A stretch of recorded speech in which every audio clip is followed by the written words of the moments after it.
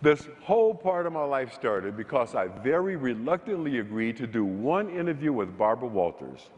They called me because they knew I was still active in the church and the homeless shelter that had been so important to my son and I at a critical time in our lives. And I said no. No, thank you. I was concerned. My concern was they want to do a story about somebody with money, toys, and stuff. So, now, more to it than that. No, thank you. We had further discussions. I expressed my true feelings, which were if you want to do a piece about someone who's tried to do something with their life, with their family, and in their community, then I'm all for it. The resulting piece apparently was pretty good.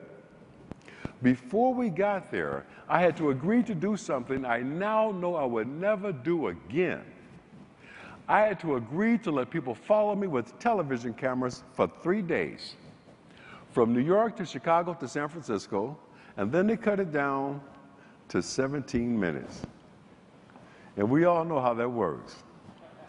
And there's something about Barbara Walters saying your first and last name, and you don't know what she's going to say next that make you pay attention. That thing ran on a Friday night. Monday morning, the phone jumps off the hook. I got invitations to be on all these great national television programs from people who did not know my name until the previous Friday night. So that's an easy no, no, no. Took another phone call from this guy in this place I affectionately call Holly Weird. This guy gets me on the phone, and he's got, he thinks, a great idea. He wants to create a reality TV show based on homeless people. Wants me to be the judge. True story.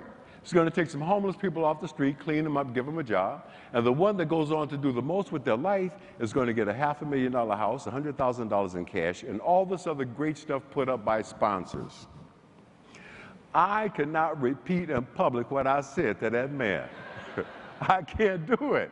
But the gist of it was homelessness is not a game. But if you think it is, I already won, so send me my money.